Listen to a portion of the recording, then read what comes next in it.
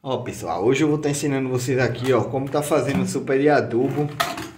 Adubo feito com esterco. Esse adubo aqui pessoal, ele vai ficar mais forte do que você aplicando ele, ele diretamente assim na hora Isso aqui é esterco de cavalo. O esterco de cavalo ele é mais fraco pessoal.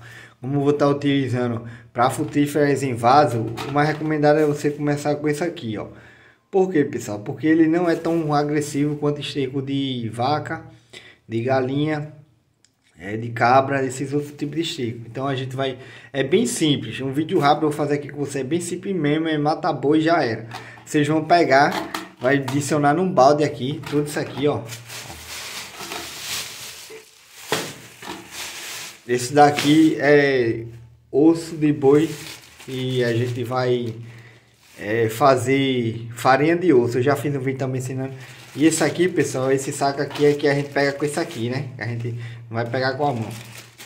Então, você é bem simples. Você vai pegar esse esteco aqui, ó. Vou estar tá colocando ele aqui dentro. Ó. Coloquei já.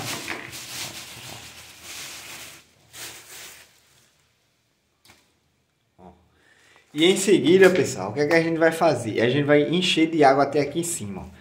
Você vai encher de água e vai deixar aqui por 48 horas, pessoal. É o tempo para ele fermentar, ficar bem forte mesmo.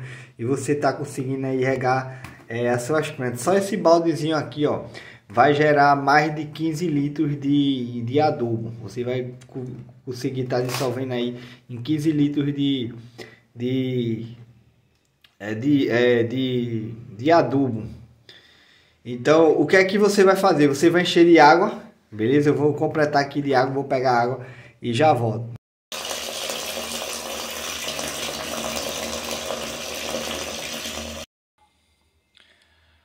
Pronto, pessoal, já encheu, ó. O que é que você vai fazer, pessoal? Você vai deixar aqui.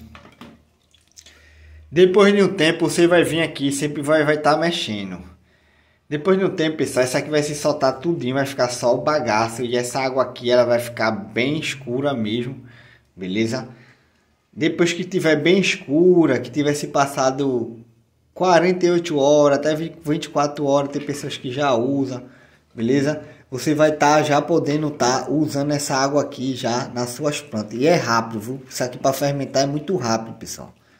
Muito rápido mesmo. Você sabe que tem gente que utiliza a bosta do, do, do boi, da vaca, do cavalo para fazer até gás, combustível e tudo. Beleza, ó, a cor já já mudando. Então você vai estar tá deixando aí, ó, beleza? E depois disso aí você já pode estar tá fazendo a rega nas suas plantas. É, daqui a dois dias eu vou estar tá fazendo outro vídeo é, adubando as plantas com isso aqui. Então você fica ligadinho aí para você é, não perder.